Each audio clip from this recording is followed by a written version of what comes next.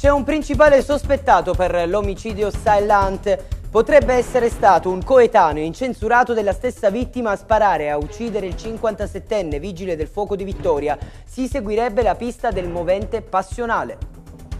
Era una brava persona, non ha mai fatto male a nessuno, gli volevamo bene, siamo sotto shock. È una città sconvolta quella di Vittoria per l'omicidio di Silent. Oggi le testimonianze a MTG. La Cassazione ha confermato il sequestro dell'impianto satellitare statunitense MUOS. Adesso il Ministero della Difesa dovrà pagare anche le spese processuali.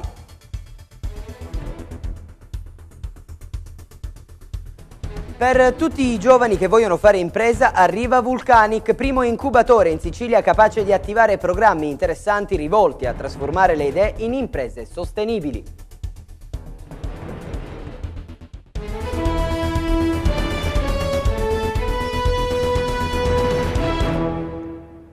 Eccoci tornati in diretta con l'informazione su Video Mediterraneo. Buonasera ai nostri telespettatori. Dunque, l'avete ascoltato dai titoli, c'è un fermo per l'omicidio Silent a Vittoria. Sarebbe un coetaneo di eh, circa 59 anni, incensurato ad aver sparato all'uomo. Ancora non emergono ulteriori argomenti e altre notizie, ma si seguirebbe la pista del movente passionale. Il racconto della storia da Viviana Sammito. È un vittoriese di 59 anni, il principale sospettato del delitto di Giorgio Sailant, il vigile del fuoco freddato ieri sera intorno alle 21.20 con un colpo di fucile caricato a pallettoni.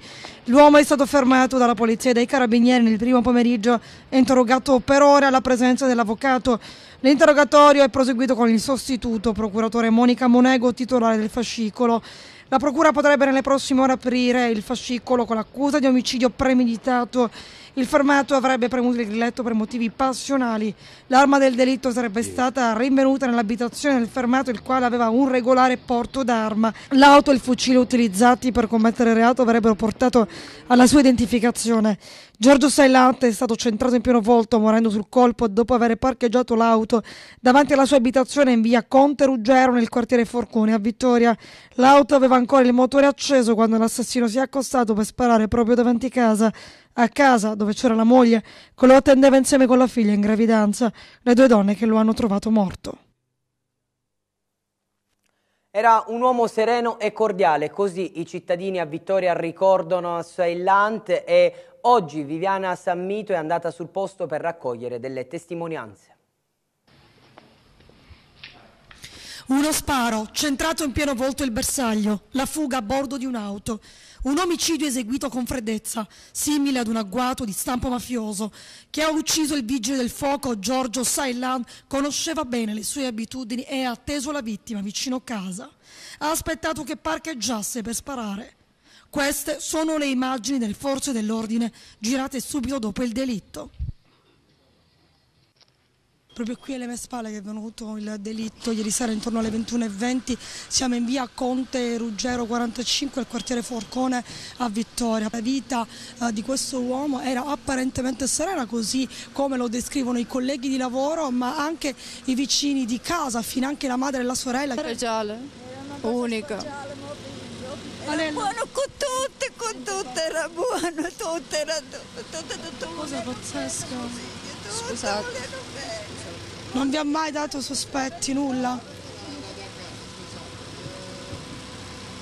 Vittoria questa mattina si è svegliata con la terribile notizia, invece i residenti della zona non hanno forse neanche ancora dormito. Increduli e sbigottiti si sono avvicinati all'abitazione al civico 45. Tutti conoscono la famiglia, mai nessun diverbio. Mai, mai, mai. Abbiamo avuto cose, mai. Loro erano andati a Milano ed, ed erano tornati. E Giorgio e, e, e, e sua moglie dovevano sposare la figlia. Eh, io sono un ministro di culto, quindi sono venuto per consolare la famiglia, non per altro. Conosceva perché era molto credente la famiglia, veniva spesso sì, da lei. La famiglia in chiesa. Sempre in chiesa tutti insieme. La vittima lascia la moglie e tre figli, una vive a Vittoria e altre due a Milano. Il corpo di Sailan è stato trasferito all'obitorio del cimitero di Ragusa per l'ispezione cadaverica. Il sostituto procuratore Monica Monego, che ieri è arrivata sul luogo del delitto verso le 22, ha già nominato il medico legale Maurizio Spagni che dovrà eseguire l'autopsia.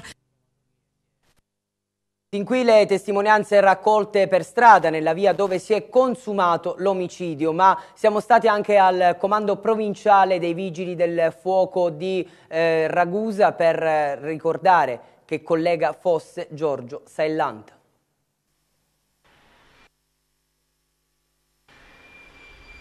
Giorgio Saillant, 57 anni, vigile del fuoco. Tutte le mattine andava in Viale dei Platini a Ragusa. Questo era il suo ufficio.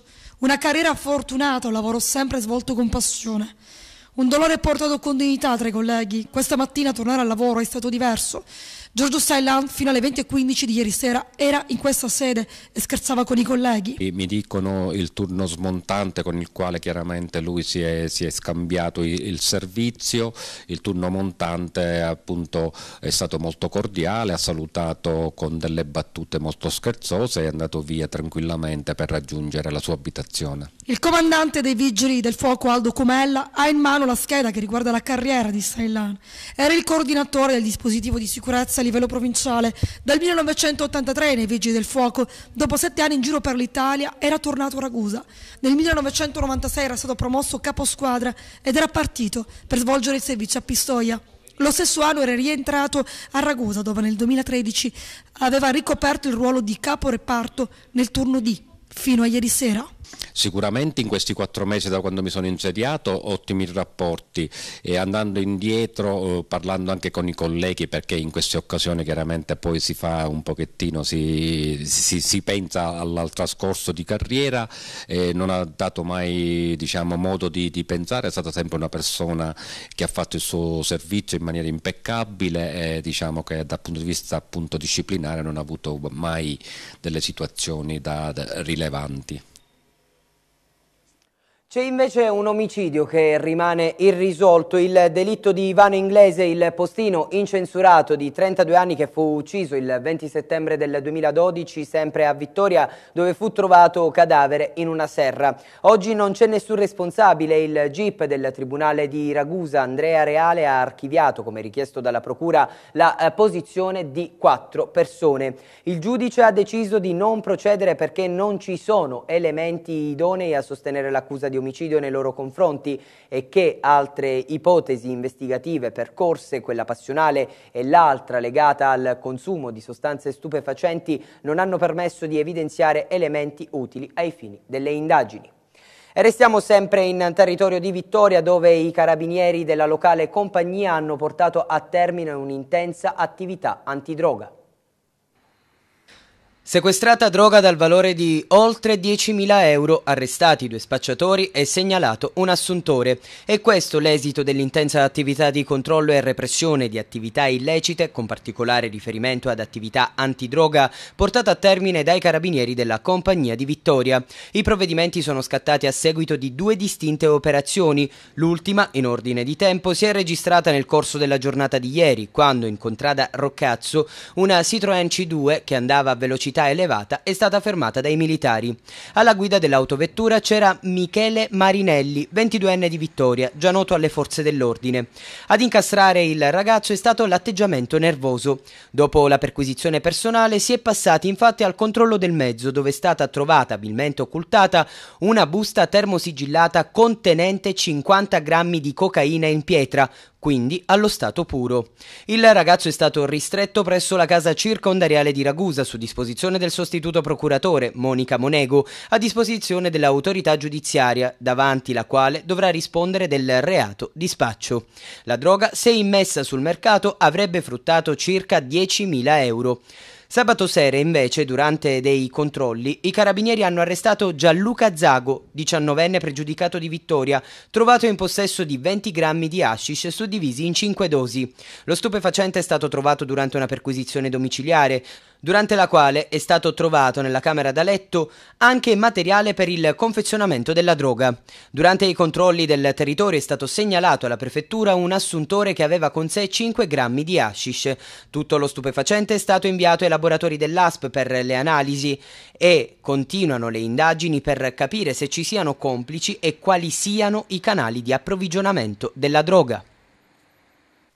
E operazione antidroga anche da parte dei carabinieri della compagnia di Modi che è stato denunciato a piede libero un marocchino di 33 anni e due i giovani segnalati alla prefettura per detenzione personale.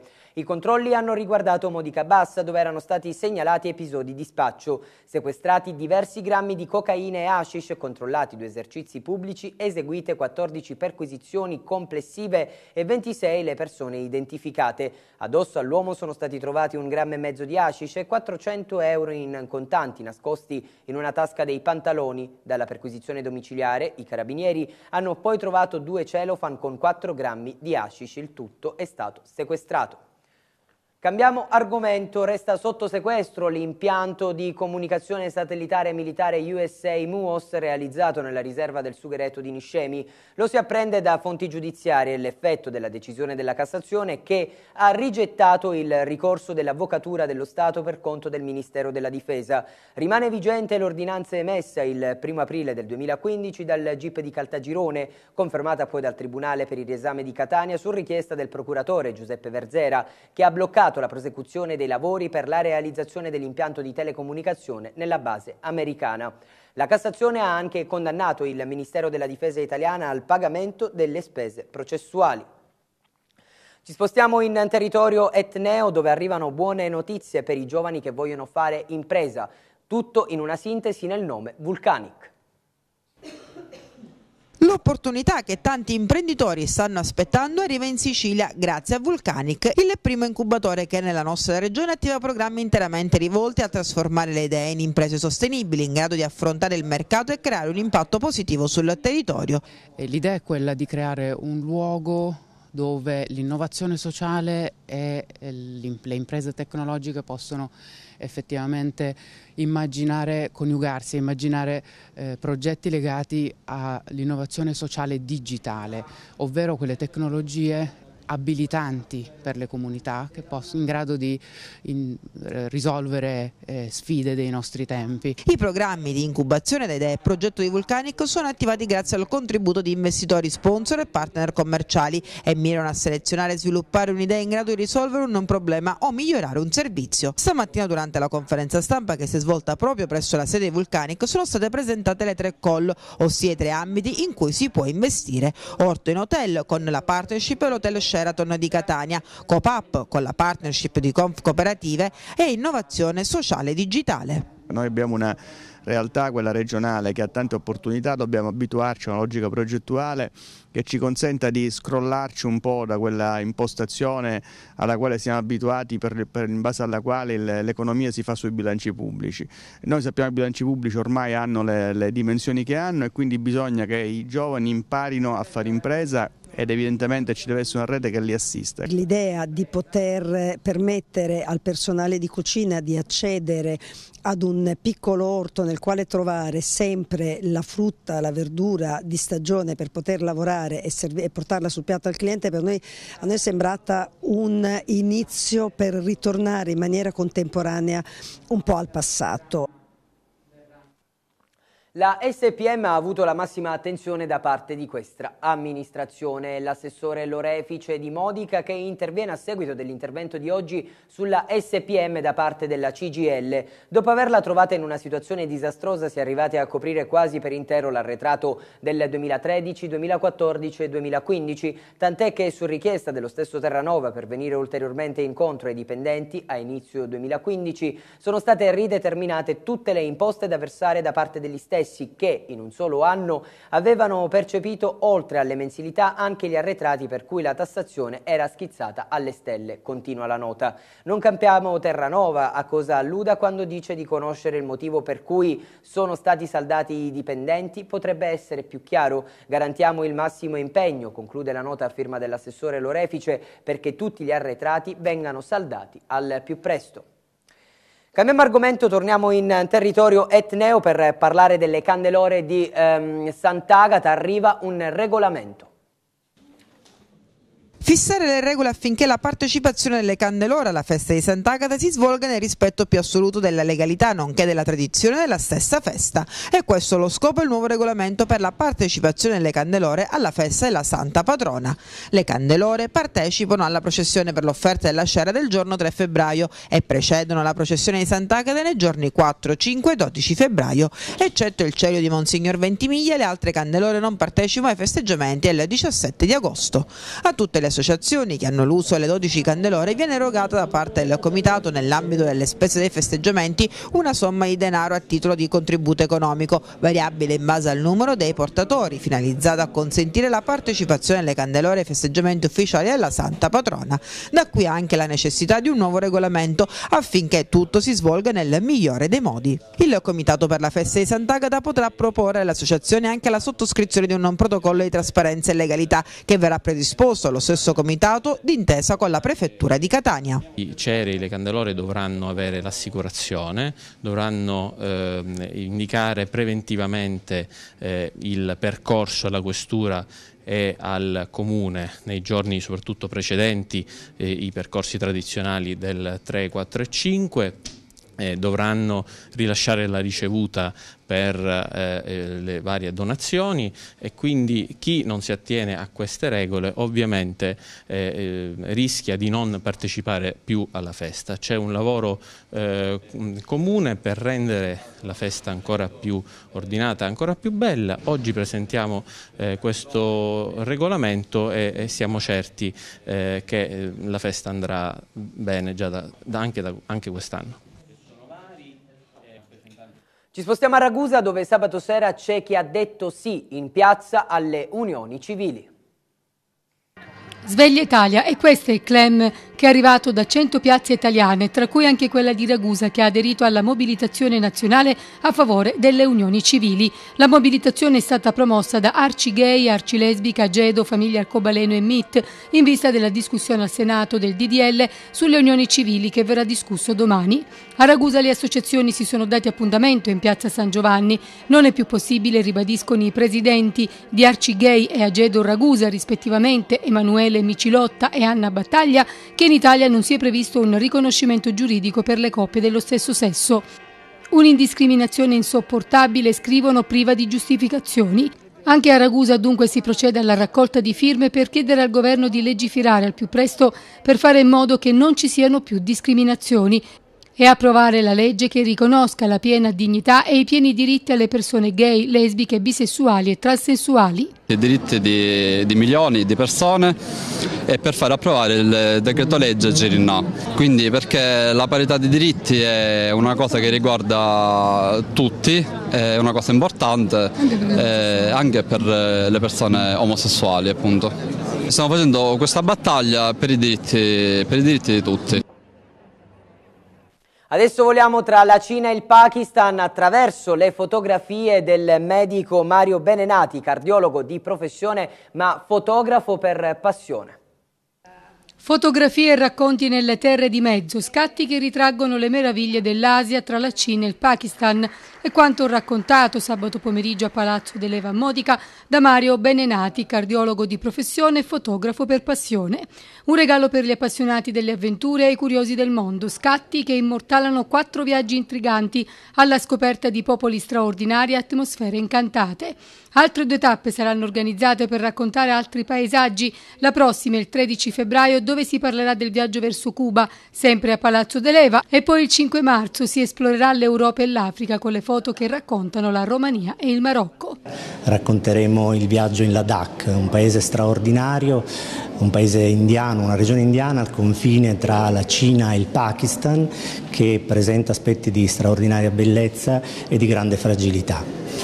E la manifestazione è in collaborazione con eh, l'Inner Wheel Club Ragusa Centro e con l'Uni3 ed è gestita e organizzata dal Centro Studi sulla Contea di Modica e del suo presidente, eh, l'architetto Eugenia Calvaruso. E parleremo di fitness nella seconda parte del nostro telegiornale. Ci fermiamo, c'è la pubblicità, tra poco. Ben ritrovati alla seconda parte del nostro telegiornale, un servizio dell'ufficio commerciale che parla del compleanno della palestra Basaki. Ieri la Basaki Fitness Club ha festeggiato il settimo compleanno della struttura sportiva di via Nino Martoglio di Ragusa. A caratterizzare l'Open Day diversi corsi che si sono susseguiti dalle 10 alle 16 con gli insegnanti e i clubber. Una giornata dedicata al fitness, al wellness e all'intrattenimento. È gremita la sala grande della struttura sportiva per i Basaki Got Talent, nel quale si sono esibiti clubber e istruttori nelle varie performance. Dal canto ho fatto un pezzo di Ben Harper, eh, Diamonds on the Inside, un pezzo famoso eh, che mi piace molto eseguire. Al ballo. Oggi è il settimo compleanno, abbiamo organizzato questa festa per, per tutti i clienti nostri, anche non, non, clienti. Stiamo divertendo, una bella festa, speriamo di condurla al massimo delle nostre... Diciamo... C'è tanta partecipazione anche di pubblico. Sì, soprattutto... Iscritti e non iscritti alla Bazar. il bello è questo, appunto, far venire gente che non è iscritta per coinvolgerla in questa grande festa. Dal cabaret ho raccontato una cosa che mi piaceva veramente portare ad un pubblico un po' più ampio che non fosse la, solamente la nostra famiglia. Un pubblico eterogeneo. Un pubblico eterogeneo sicuramente. E niente, sono i racconti della nonnina, della bisnonna eh, che ci intratteneva a fine di ogni pasto per le sere di Natale, eh, nelle cerimonie comunque dove eravamo tutti riuniti. Un momento esilarante che ha visto sposare la passione per lo sport, per la salute e il benessere personale, all'aggregazione sociale e all'amicizia. Questa la vera filosofia della Basaki. Come le sembra questo momento dedicato all'intrattenimento in un contesto in cui si fa tanto sport? Bellissimo perché è sempre un momento di, di, di, per ritrovarsi, per eh, essere in compagnia degli amici. La Basaki non è solamente sport ma anche intrattenimento? Certo, soprattutto, specialmente eh, quando fa il compleanno Basaki. Eh, settimo ci... compleanno. Settimo compleanno, ci inventiamo anche come cabarettisti. L'Open Day di ieri ha mostrato il meglio di un'offerta di corsi vastissima e di alto livello che si è concluso con l'emblematico taglio della torta, al quale hanno partecipato l'intero staff, i clubber e i non iscritti simpatizzanti, riuniti per festeggiare insieme i sette anni di questa solida realtà sportiva, la palestra Basaki Fitness Club Ragusa. Da noi non, non è solo oh, lavoro fisico per cui uno immagina sport, devo faticare, campionati, al di là di questo c'è anche proprio la, lo star bene tutti insieme, conoscere conoscersi e passare una serata come questa che veramente è, è, stata, è bellissima. Un qualcosa di dolce si può anche consumare? Sempre, si può consumare sempre, guarda, il dolce si può consumare sempre. Soprattutto oggi. È tutto per questa edizione del nostro telegiornale, grazie come sempre per averci scelto e buon proseguimento su Video Mediterraneo.